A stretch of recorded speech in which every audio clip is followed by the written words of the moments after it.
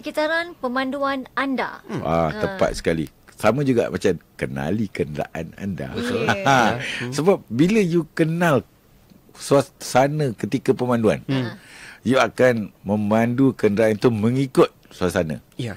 Okey, hmm. contohnya bila suasana terang benderang hmm. yang kita nampak, yang kita lihat kan, kita nampak macam okey, uh, jalan ni hmm. clear, lambuk apa tak ada masalah, dan dia akan pandu seperti biasa. Hmm. Dan memberikan tumpuan yang sama. Tetapi apabila keadaan cuaca bertukar hmm. daripada terang-terang, dia memang terang tetapi hujan. Ya. Berbeza hujan tetapi malam Hmm. hujan siang dan hujan malam. Mm-hmm. Kedua-dua taktik pemanduan amat berbeza. Hmm. Syafiq, Ya. bukan semua orang boleh memandu dalam suasana yang serupa. Betul Datuk. Pada Betul. ketika-tiga keadaan ni. Ketika-tiga keadaan ni, waktu siang panas, waktu siang hujan, waktu malam kering, waktu malam hujan. Ya. Hmm. Lain rasa dia eh. Berbeza-beza cara pemanduan. Memegang steering, menekan Penglihatan mengambil seleko, penglihatan kita Ya. dan juga keberi tumpuan. Hmm. Jadi kalau jalan kering, you memang akan nak. Dan paling teruk sekarang ini pula, memang ramai tak kira lelaki ke perempuan ke, asalkan mereka memandu, Hmm. telefon bunyi je, angkat. Terus jawab. Tak Yang berempat-empat. pegang Ah, tangan Ya. sebelah saja. Sama ada tangan kanan atau tangan kiri, satu tangan saja yang pegang steering. Hmm. Satu tangan lagi memegang handphone. Hmm. Walaupun dalam keadaan ini dikategorikan salah. Okey. Kerana dalam undang-undang bebas tangan. Aha. Tak boleh pegang telefon tu. Yang boleh pegang tali dia je. Dan tali masuk ke dalam telinga. Itu saja. Dan sewaktu ini jalan basah apabila melihat atau menggunakan handphone tekan brake.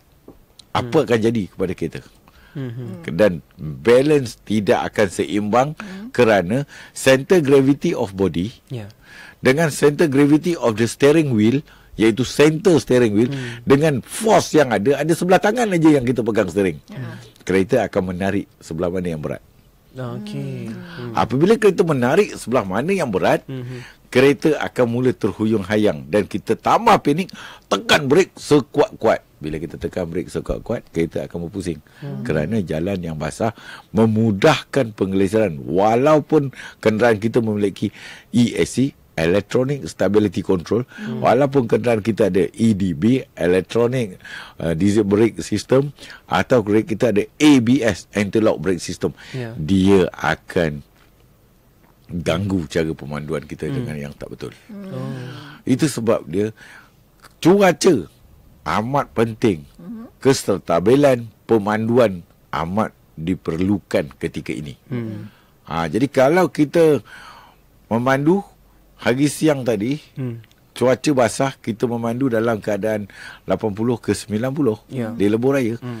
Apabila di waktu malam 80 90 dengan hujan yang di negara kita ini tinggi, hmm.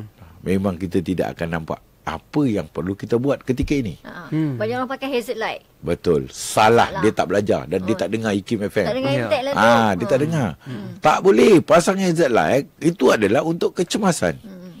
Kalau tak suka, tak boleh memandu pakai spek ke ah, macam Syafiq tak pakai spek. Saya dah pakai spek ni spek membaca kan. Ya. Bila waktu malam tak pakai spek dengan kita pakai spek berbeza. Hmm. Sinaran cahaya dari hadapan. Hmm. Kalau Super Syafiq nampak macam biasa je. Hmm. Tapi bila yang pakai spek akan berbeza. Nampak sama ada kalau cermin tu dah teruk pecah pula hmm. nampak lampu tu lagi bahaya. Hmm. Jadi ini mengundang kecelakaan. Hmm. Apa yang kita nak syorkan ke sini supaya apabila kita memandu kita kena peka hmm. keadaan semasa, environment sekeliling kita.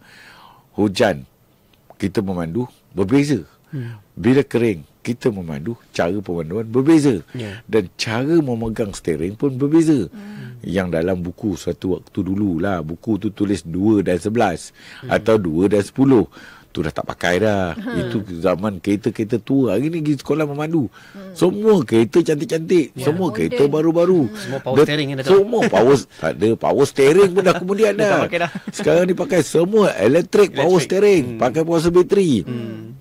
Apa yang nak diingatkan Serana di steering center ada perkataan SRS Safety Restraint System hmm. iaitu airbag budak kampung kata lah dia baca kat situ ada tulis airbag airbag lah bila perkataan airbag ni ada kalau kita memegang antara dua hmm. dengan sepuluh hmm.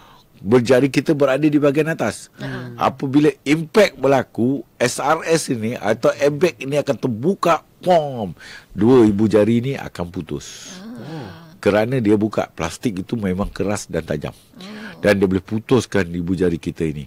Jadi itu sebab pegang steering yang betul untuk hari ini. Hmm. Dan sejak lagi tahun 2000 2002 2001 dah ada dah banyak dah kita ada SRS. Hmm. Jadi kena pegang di jam 3 jam tangan kanan, hmm. jam 9 di tangan kiri. Hmm. Barulah selamat. Bola center ya. Betul. Hmm.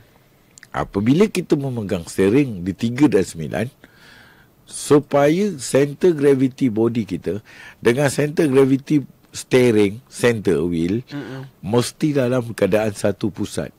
Mm-hmm.